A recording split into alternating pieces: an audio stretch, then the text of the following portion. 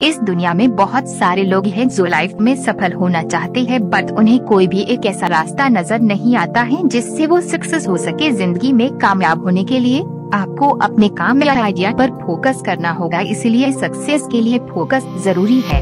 या फिर कह सकते हैं कि हम में से कुछ लोग ऐसे होते हैं, उनके पास सब कुछ होते हुए भी सफल नहीं हो पाते, जैसे मेरा मतलब है कि टैलेंट पैसा टाइम तो चलिए हम आपको आज एक ऐसा तरीका बताएँगे जिससे आपकी कामयाबी में चार चाँद लगाएँगे परंतु आपको हमारे बताए गए तरीके को पूरा फोकस करना होगा। फिर देखना आपकी लाइफ कैसे चेंज होती है।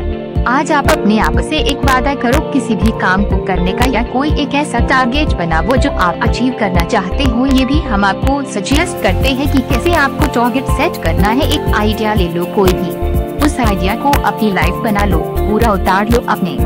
जहाँ में उसके बारे में सोचो, उसके सपने देखो, उस आइडिया को हरदम जियो, अपने दिल और दिमाग में रखो, शरीर की हर हिस्से को उस आइडिया में डूब जाने दो, और बाकी सभी आइडियाज़ को किनारे रख दो। यही सफल होने का सबसे सही तरीका है, यही वो तरीका है जिससे महान लोग निर्मित होते हैं। दोस्तों, जो तरीका हमने आपके साथ शेयर किया है, वो स्वामी विवेकानंद के है, और मुझे लगता है कि फोकस शब्द को समझाने का इससे अच्छा कोई और नहीं हो सकता।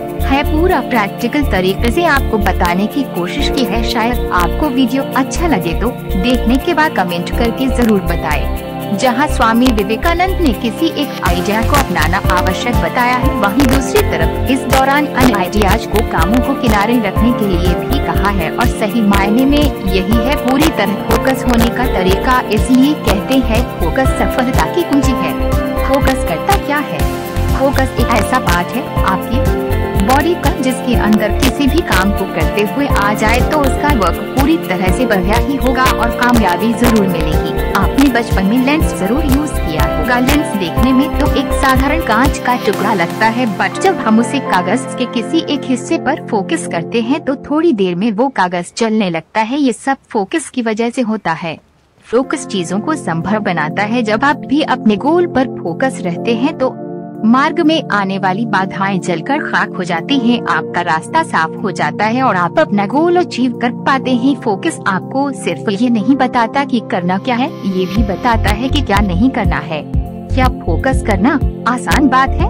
दोस्तों अगर आपको कुछ बड़ा करना है इस दुनिया में तो आपको पूरी तरह से उस काम में डूबना होगा और तब तक लगे रहना होगा जब तक कि आप अपने प्रयास को फ़िज़िकल रियलिटी में बदलते होते।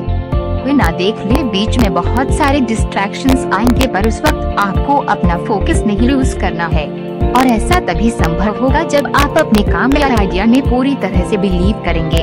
इस मुश्किल समय में जब माइंड में संदेह होने लगता है, तब आपको आपका सेल्फ कॉन्फिडेंस ही आपको विचलित होने से बचा सकता है। इसलिए काम शुरू करने से पहले ही आप उस पर अच्छी तरह से सोच विचार कर लीजिए और आप अपने फ्रेंड से उस आइडिया प्लान के बारे में बात करके अपनी मन की सारी मुश्किलें दूर कर सकते हो।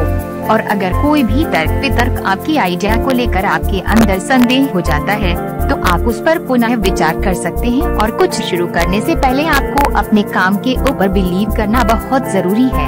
ऐसे ही वीडियो देखने के लिए लाइक एंड सब्सक्राइब करें और हमारी नई वीडियो देखने के लिए बेल आइकॉन पे क्लिक करें।